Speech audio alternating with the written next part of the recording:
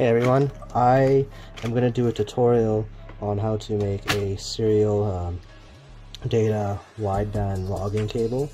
Uh, there's places that you can just buy a cable yourself for like 50 bucks, but this costed me in total of probably uh, 20 bucks, 30 bucks Canadian. So all you're going to need to do is buy a DB9 RS232 uh, uh, serial cable, male to female. So I already have it cuts. So this is the male end, you can see by the pins.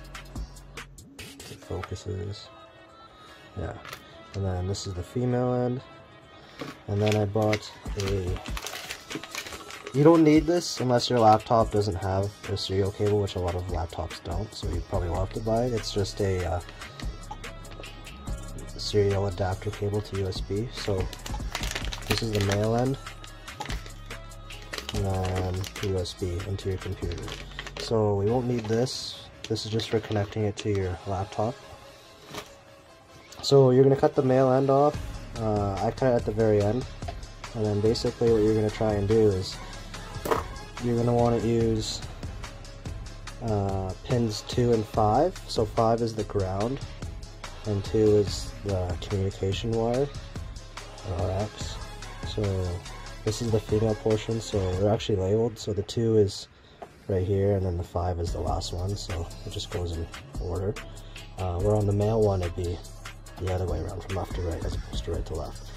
So basically, what I'm going to do is I'm going to strip the, uh, the end here? I'm going to strip the end of this. So you just need a pair of wire strippers.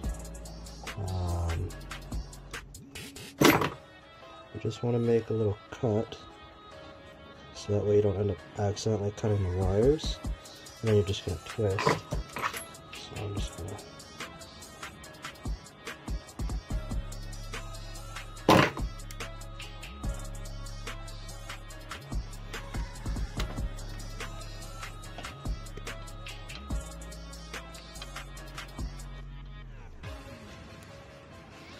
So there.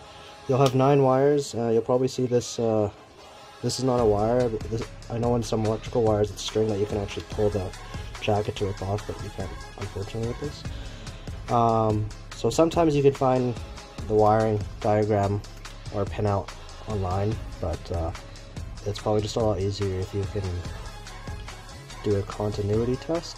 So typically green is your ground, and on most cables red is actually the communication wire. And then on port 3 so the very middle one is another communication wire which we don't use and that's typically blue. So what I'm going to do is I'm going to test uh, continuity between red and green to make sure that is the right one. And the way to do this is you're going to put a 18 gauge wire into pin 2 and 5 so I'll just grab that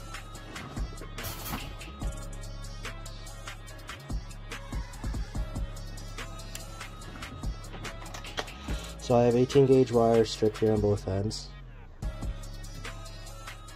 So one's going to go into 5.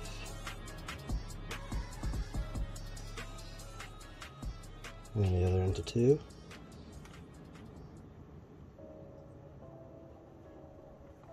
So you'll, you'll need a multimeter for this, or a ohm meter, to do a continuity test. Um, essentially, if you have an ohm meter, you're just looking for as close to zero ohms. Or any reading, pretty much. So, I'm gonna grab my meter. So I, I use meters every day for my work, so I have an HVAC meter, so. But you can just use a cheap meter at like Home Depot. So uh, this has continuity, microfarads, and resistance, so it'll auto find. So I'm gonna leave that there.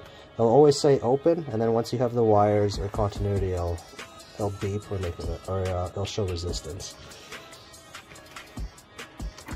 So I'm pretty sure the gauge of this wire is they are braided. So um, this is one of my work crimps, but it only goes up to 20 gauge or 22 gauge uh, braided.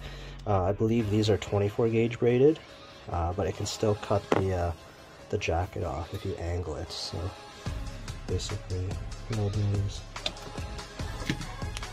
just put it highest, strip it.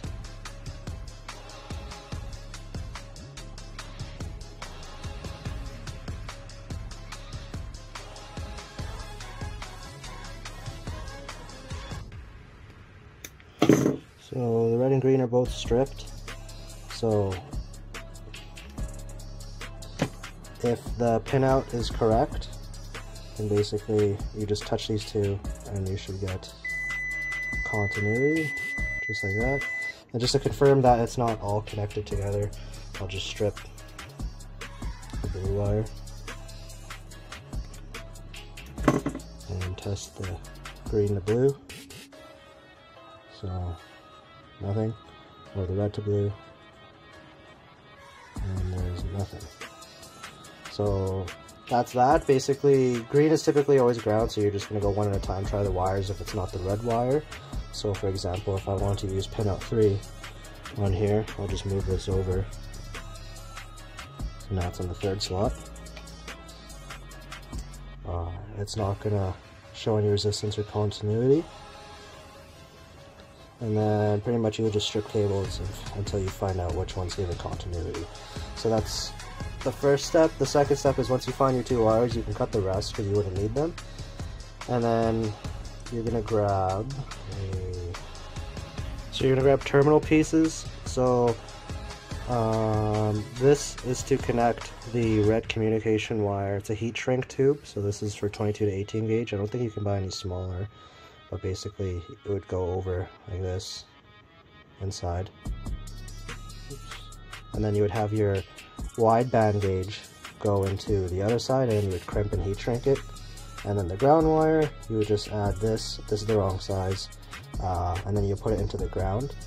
And then after that's all said and done then you have your serial logging cable. Uh, make sure you connect it to your computer and download the hard drive or whatever it is for it. And then you would connect it into this and then into your computer and then that's it. $30 uh, data logging cable. Alright guys, I'm here in my car, so I'm just testing this. So this is not how I would actually have it wired up if I was driving. So this is just all temporary. So I have a ground going there. Uh, this is Moretted. I honestly could just tape it, but probably what I'll do is I'll just heat shrink it so it's more permanent and then the slack of the cable will just go in there somehow I'll, I'll figure it out but uh, and then yeah it's just plugged in the computer with my Tactrix it is logging right now. So you can see it's reading the wideband on there.